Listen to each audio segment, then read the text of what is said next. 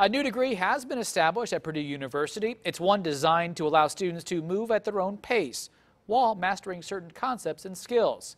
News 18's Brittany Tyner reports university leaders hope it will better prepare them for the working world. As students get back into the swing of things for the fall semester, Purdue's College of Technology unveiled a new competency based degree. It's a much deeper kind of learning that's going to occur. But the key is, is students will get credit for what they learn. It's based on what they're passionate about learning. In January, President Mitch Daniels challenged each department to create a three year degree as well as a competency based degree the College of Technology, which is newly redesigned as Purdue Polytechnic Institute, was awarded $500,000 for creating the competency based degree. Daniels says the degree will be awarded to students who can prove they have met the criteria.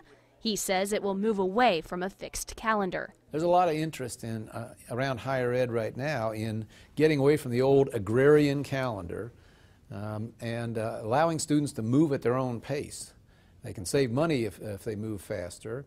And what really matters in the end is did they master the subject matter or didn't they?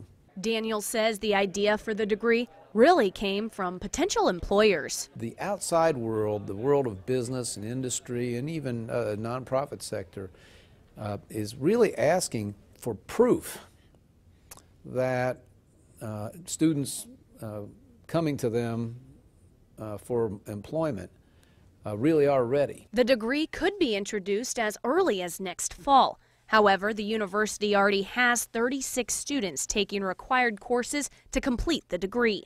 Reporting in West Lafayette, Brittany Tyner, News 18.